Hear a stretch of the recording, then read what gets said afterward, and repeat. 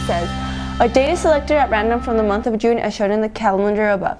What is the probability that the date selected will be a Friday and an odd number? So you would go to the Friday section and there's only two numbers that are odd and Friday. That's the 11th and the 25th. So that's two possibilities out of 30 days, which is why your answer is B.